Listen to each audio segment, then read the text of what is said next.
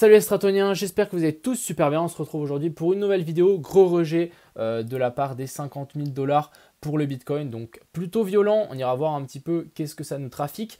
On ira voir l'Ether, le BNB. On ira voir une news par rapport à l'inflation. Pourquoi ça a chuté par rapport au SP500. Bref, on ira voir deux trois altes qui me semblent un petit peu oubliées. On a le Serum qui est sur une magnifique zone. On a le ATA on a le CLR. Je pense que ce serait une mauvaise chose de les, de, les oublier. Donc je pense commencer une stratégie DCA sur ce genre d'alt pourrait être excellent pour euh, bah, d'ici la fin de l'année, voire mu 2022. Sur ce, on est tout de suite parti. Crypto, Crypto, donc on est parti ici, donc le Bitcoin qui a chuté, donc moins 2% pour dire qu'avant on était dans le vert. Euh, les alts qui prennent beaucoup plus cher, on est plus autour de 5 à 8% euh, en négatif, donc plutôt mauvais. On a le fil intéressant qui est en positif. Et on a aussi le NIR, rien de bien très, de rien de bien très intéressant. Donc ce que je voulais vous montrer un petit peu, c'est que on a eu du coup euh, l'inflation qui a touché environ les 7% et c'est le plus haut depuis 40 ans. Je ne sais pas si vous vous rendez compte. Donc qu'est-ce qui s'est passé droit derrière? Ben, On a le, le, Bitcoin qui nous a fait une belle bougie ici de environ 2,7%. Magnifique.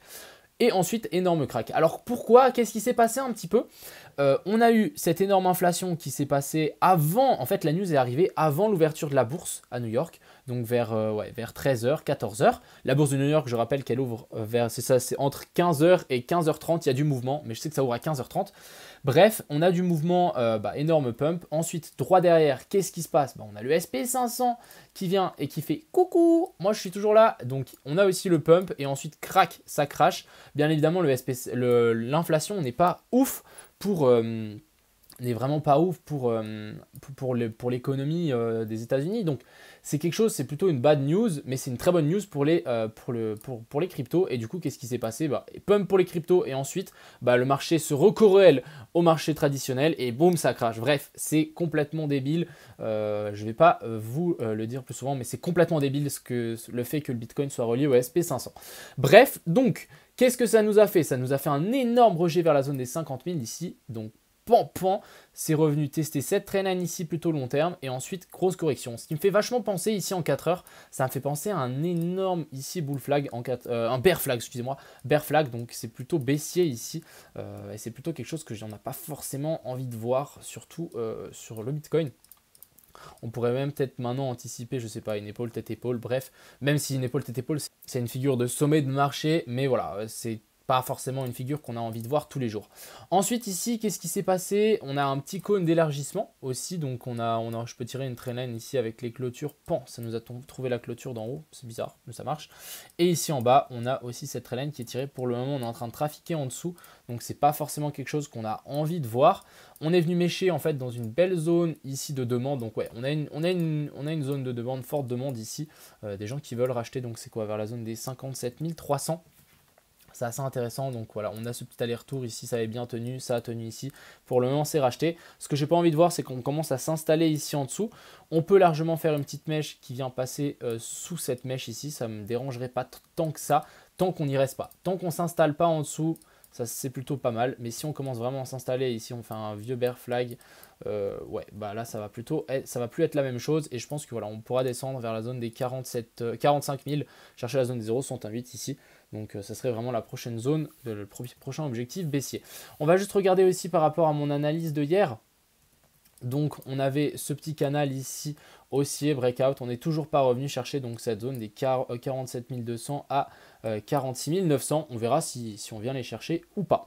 Donc assez, plutôt, assez intéressant, mais c'est un petit peu dommage. En tout cas, moi, ce que je, ce que je vous conseille, c'est qu'à 15h30, si vous, êtes, si vous avez des positions ouvertes, clôturez-les euh, avant vers 14h, 14h45 par là autour, vous les clôturez parce que sinon bah, vous êtes à la merci du SP500 et c'est vraiment la roulette russe quoi. Donc ça c'est un petit peu dommage. Mais bon, c'est le jeu, c'est le jeu euh, et du coup, qu'est-ce que euh, c'est quoi la suite en fait de, ce Bitcoin? Soit, bah, on espère que ça tienne. On a aussi cette traîne ici long terme. On va prier, hop, si j'enlève le log, on va prier qu'ici ça tienne.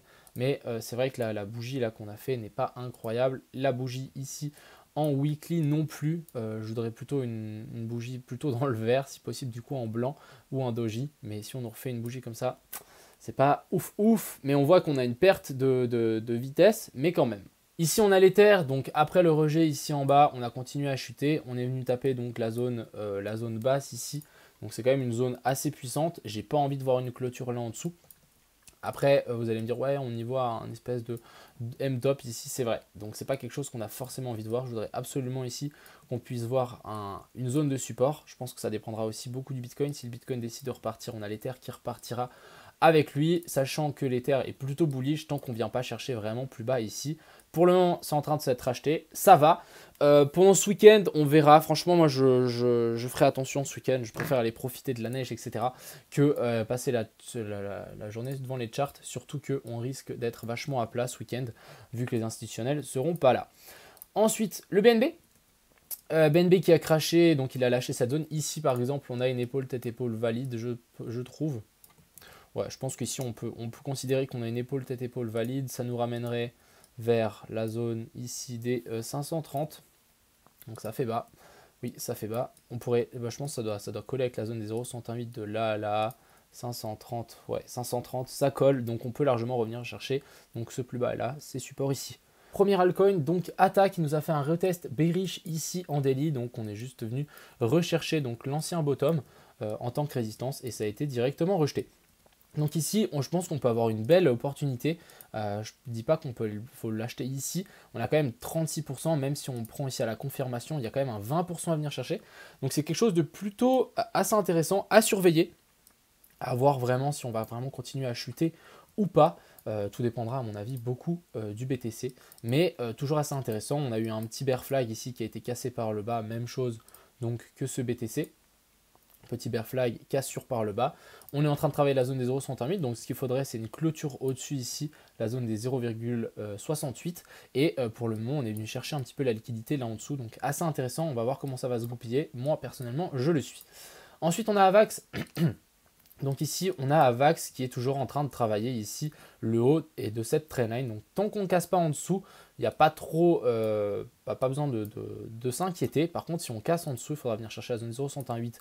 Ok, on a déjà pris celle-là. On tire une énorme zone 0,108. Donc pourquoi pas venir chercher la zone des 62 vers cette EMA 200 est tout à fait possible. Ensuite, on a le CLR. Alors, le CLR assez intéressant aussi. On a eu euh, petit bear flag. Donc ici, on voit un petit bear flag, surtout avec la petite Petite recherche vers le haut, on fait FOMO tout le monde sur les tops pour ensuite, boum, les rects assez rapidement et efficacement. On a pourquoi pas un petit W en formation, on va juste mettre mon petit indicateur, euh, je trouvais ça plutôt assez intéressant. Ici, on a un point vert et un point blanc, donc souvent ça fait partie des, des euh, on appelle ça, des signaux d'achat. Le truc, c'est que la dernière fois qu'on en a eu un, un point vert et un point blanc, ça remonte à ici et du coup, bah, ça fait un bail.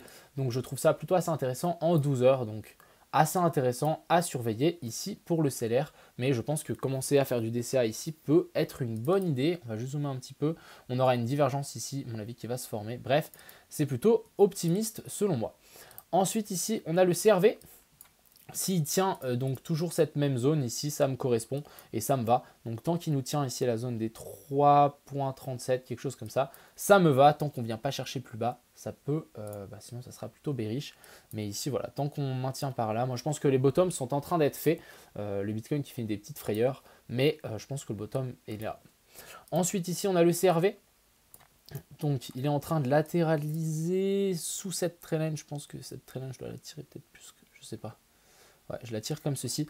Donc pour le moment, on est en train de passer sous cette trendline. Avoir la clôture euh, en fin de journée, je voudrais absolument qu'on arrive à repasser euh, par dessus. Mais, euh, mais voilà, sinon on a toujours ce triangle de compression. Bon, j'attends toujours une cassure vers le nord. Ensuite, on a le sol, donc sol qui nous fait une cassure plutôt bearish. Je vais vous montrer ça, donc c'est vraiment dommage. Ici, on a cette trendline long terme logarithmique sur laquelle ici, on est en train de breakout vers le bas. Donc, est-ce qu'on va réussir à se rattraper avant la fin de la journée?